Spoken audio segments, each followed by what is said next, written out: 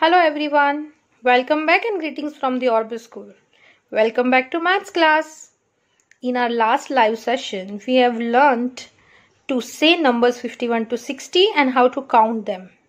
Yes, we learned to count objects 51 to 60.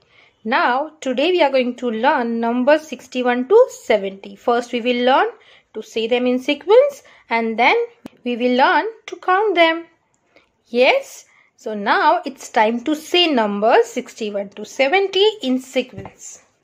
Children, you are going to look at the number and you are going to say it with me. 61, then 62, 63, 64, 65, 66, 67, 68, 69 and then 70 70 now imagine that you have a balloon in your hand and then we will practice one more time. 61 you have to imagine that you have a balloon in your hand and then you have to start saying numbers okay 61 62 63 64 65 66 67 68 69 and 70 it's time to count objects. Today we are going to count objects. Yes and we are going to count objects from 61 to 70 it means 6 bundle of tens and 1 makes 61 to 7 bundle of tens. Okay, so let's do it. We will count number of bananas. Let's count in one bundle how many bananas are there. 1, 2, 3, 4, 5, 6, 7, 8, 9, and 10. In one bundle, there are 10 bananas. Now let's count how many bananas are here. In one bundle, as we counted, there are 10 bananas. So we have to skip count by tens and we have to count these bananas. 10, 20, 30, 40, 50, 60 and 1. 61. There are 61 bananas here. Now, let's count how many bananas are here. 10, 20, 30, 40, 50, 60, 61 and 62. There are 62 bananas here. Now let's count these bananas. 10, 20, 30, 40, 50, 60 and 61, 62 and 63. There are 63 bananas here. Now let's count how many bananas are here. As we know we have 6 bundles of 10 and it means there are 60 bananas and here 61, 62, 63 and 64. There are 64 bananas here.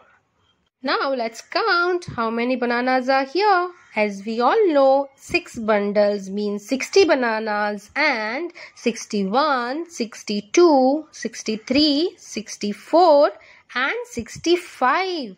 There are 65 bananas are here. Let's count these bananas. 60, 61, 62, 63, 64, 65 and 66. There are 66 bananas here.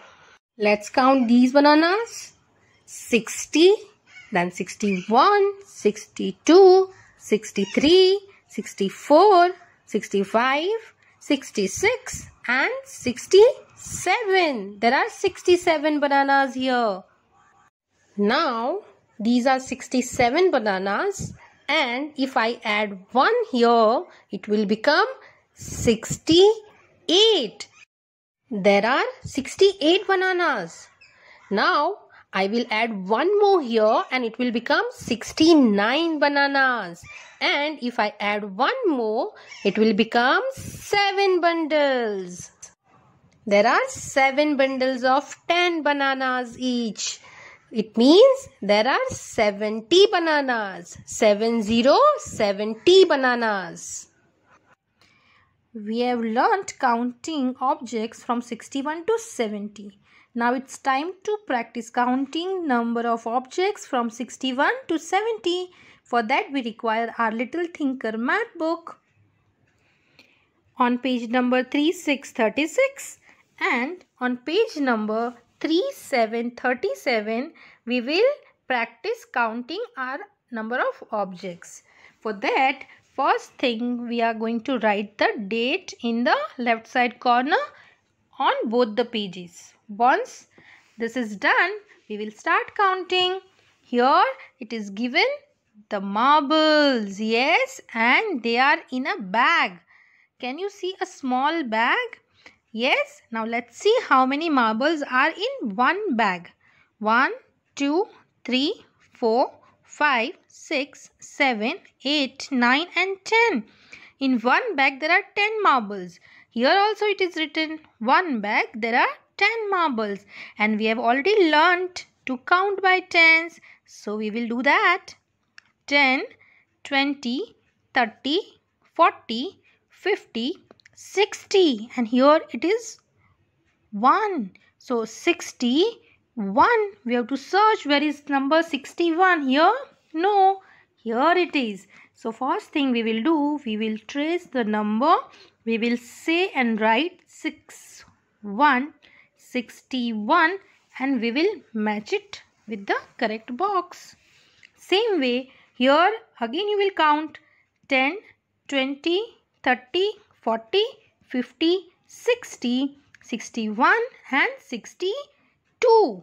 We have to search where is number 62. Here it is. So how you will write? You will say the number and you will trace it. 6, 2, 62 and then we are going to match it with the correct box. The same way you will count this also, this also, this also and then on the next page you will count this also. 10, 20, 30, 40, 50, 60.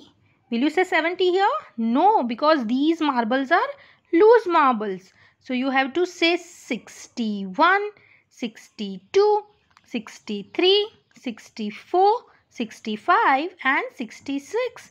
What we have to do now? We have to search where is number 66.